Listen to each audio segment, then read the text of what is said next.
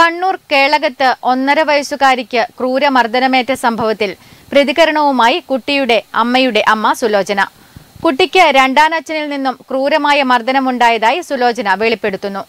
രണ്ടാനച്ഛൻ രതീഷിന്റെ arrest രേഖപ്പെടുത്തി. കുട്ടിയുടെ അമ്മയും പോലീസ് കസ്റ്റഡിയിലാണ്. കഴിഞ്ഞ ദിവസം വൈകിട്ട് ഏഴു മണിയോടെയാണ് സംഭവം. ഒരു വയസ്സുള്ള കുട്ടിയാണ് രതീഷിന്റെ ക്രൂരമർദ്ദനത്തിന് ഇരയായത്. മുഖത്തും തലയുടെ മറ്റു ഭാഗങ്ങളിലും പരിക്കേറ്റ കുഞ്ഞിനെ അമ്മയുടെ മാതാപിതാക്കളാണ് പേരാവൂർ ആശുപത്രിയിൽ കൊണ്ടുവന്നത്. പ്രാഥമിക പരിശോധനയിൽ മർദ്ദനമേറ്റ പരിക്കുകളാണെന്ന് മനസ്സിലായ ആശുപത്രി അധികൃതർ പോലീസിൽ വിവരമറിയിക്കുകയായിരുന്നു. രണ്ടാനച്ചൻ രതീഷ് മരക്കഷ്ണം കൊണ്ട് അടിച്ചതിനാൽ കുഞ്ഞിന്റെ തലയ്ക്കും മുഖത്തും പരിക്കേറ്റിട്ടുണ്ട്. കുട്ടിയുടെ പരിക്ക് ഗുരുതരമല്ലെന്ന് ഡോക്ടർ അറിയിച്ചു. കുട്ടിയെ നിലത്ത് കിടത്തുകയും മൂത്രമൊഴിച്ചെന്ന് പറഞ്ഞ് മർദ്ദിക്കുകയും ചെയ്യുമെന്നും സുലോചന പരിയാരത്ത് വെച്ച് മാധ്യമങ്ങളോട് പറഞ്ഞു. പേടിപ്പിക്കൽ മാത്രമേ ഉണ്ടായിരുന്നുള്ളൂ.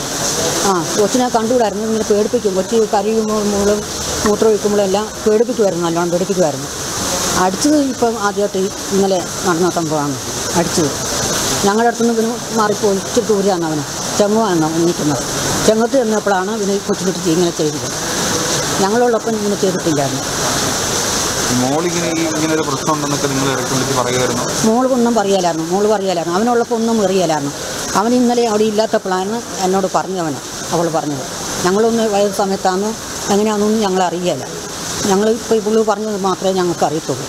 രതീഷിനും കുട്ടിയുടെ മാതാവിനുമെതിരെ ജുവനൈൽ ജസ്റ്റിസ് ആക്ട് അനുസരിച്ച് പോലീസ് കേസെടുത്തു. മർദ്ദിക്കുന്നത് തടയാതിരുന്നതിനാണ് അമ്മയ്ക്കെതിരെ കേസ്. കേസിൽ മനുഷ്യാവകാശ commission chairman K V Manoj Kumar ഇടപെട്ട് വിശദമായ അന്വേഷണം ആവശ്യപ്പെട്ടു. نسبره بلاترا